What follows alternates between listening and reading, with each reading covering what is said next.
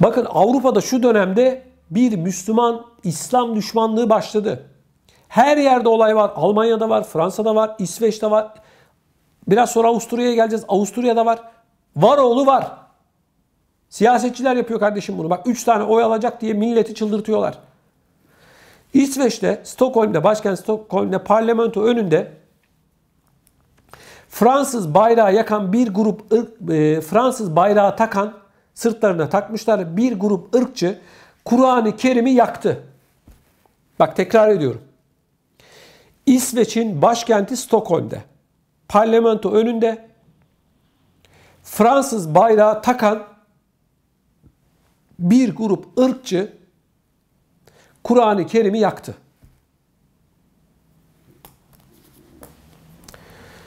Şimdi bakın değerli izleyicilerimiz Macron'u anlattım.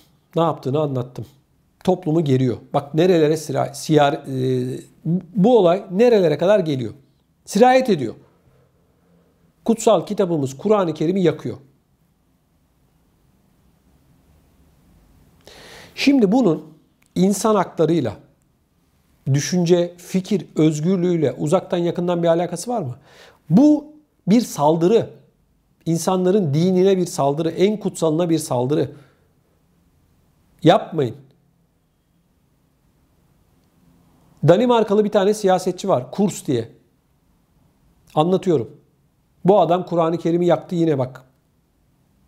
Bu adam geçtiğimiz hafta sosyal medya hesabından Berlin'e Kur'an-ı Kerim'le geliyorum. Almanlar İslam'ın ne olduğunu anlayacak dedi. Kur'an-ı Kerim'i yakan adam bak. Berlin'e geldi. Berlin havalimanında bunu bir odaya aldı polisler. Sorguladılar. Geri gönderdiler. Sınır dışı ettiler. Yani birileri bilerek yapıyor bunu. Eğer Almanya'ya girseydi vatandaşlarımızın yoğun olarak yaşamış olduğu Berlin, Neukölln bölgesine gidecekti. Orada Kur'an-ı Kerim'i yakacaktı. O yapmadı al. Stockholm'de Fransız bayrağı takan iki tane bir grup ırkçı kutsal kitabımız Kur'an-ı Kerim'i yaktı. Bu nedir? Alçaklıktır. Hainliktir. İnsan haklarıymış. Hangi insan hakları kardeşim? Hangi insan hakları? Hiçbir kutsal kitap yakılamaz.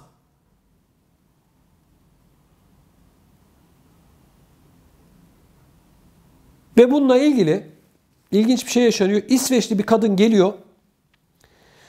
Yanan yerdeki Kur'an-ı Kerim'i alıyor, söndürüyor, öpüp başına koyuyor ve açıklama yapıyor. Diyor ki ben diyor saçım açık ama diyor Müslümanım diyor. Bunu yapamazsınız diye tepki gösteriyor. Helal olsun.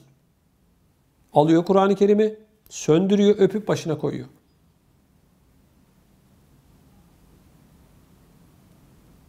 Yapmayın. Yapmayın, yapmayın. Siz bu insanların kutsal kitabından nasıl bu kadar korkarsınız ya? Ve bununla ilgili polis inceleme başlatmış. İnceleme başlatmış.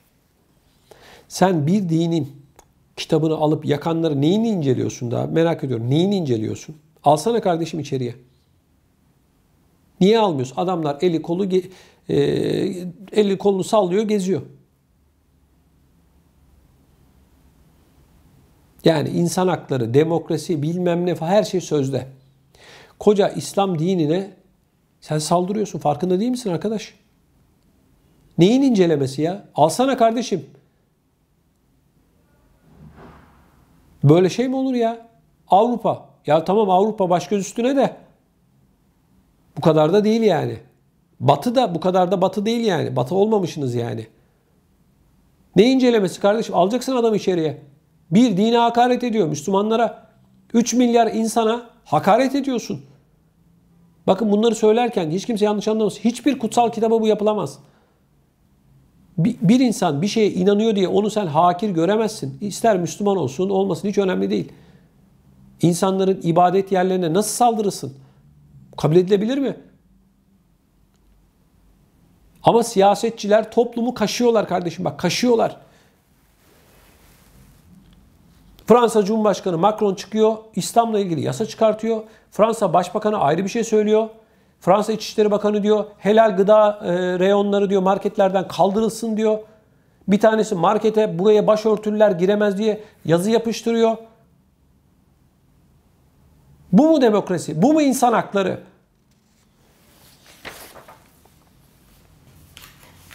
Değerli izleyicilerimiz, Hollanda'da 20 Ekim tarihinden beri aranan bir bebek vardı.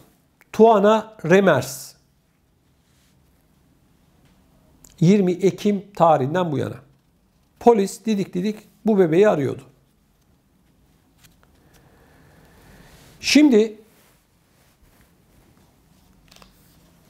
bunun şöyle bir hikayesi var. Değerli izleyicilerimiz. Bir anne, Türk, üç çocuk annesi. Sen çocuklarına bakamıyorsun diye devlet çocuk çocuklarını almak istiyor. Özellikle bebeği almak istiyor. Anne şunu söylüyor. 8 yıldır Hollanda'da iyi bir anne olduğumu ispatlamaya çalıştım. Haksız iddialarla kızımı almak istediler. Tuana'dan bahsediyor bebek.